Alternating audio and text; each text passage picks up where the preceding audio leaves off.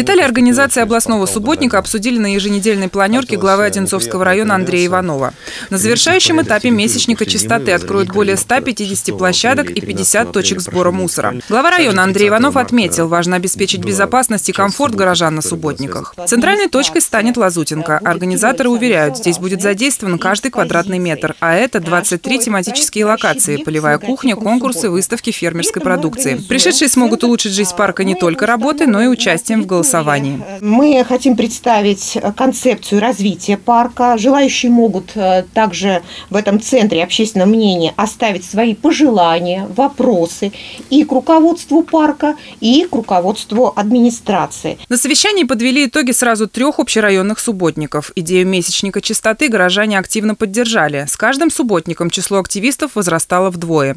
Всего же в них приняли участие более 30 тысяч человек. Количество собранного мусора впечатляют – более 5 тысяч кубометров. Глава района поручил внимательно отнестись к вывозу мусора с убранных территорий. Так, чтобы не получилось, э, убрали э, активно, собрали мешки, потом они неделю валяются э, на территории и создают тоже негативную нам повестку.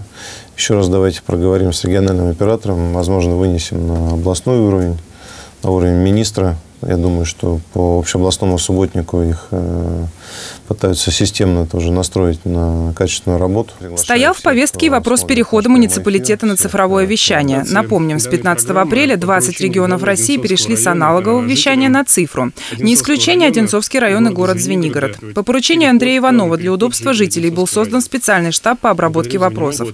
Колл-центр принял более 7 тысяч звонков. Звонки поступали по нескольким вопросам. В частности, это перенос помощь перенастройки оборудования, э, помощь, помощь подключения непосредственно приставок.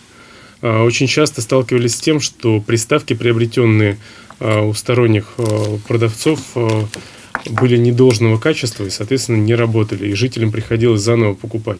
На сегодняшний день работа колл-центра не прекращается. На подходе вторая волна организации цифрового вещания на дачных участках. До мая в районе планируют полностью завершить переход на цифру. Василиса Ивашкина, Денис Харламов, Евгений Муравлев, телекомпания «Одинцова».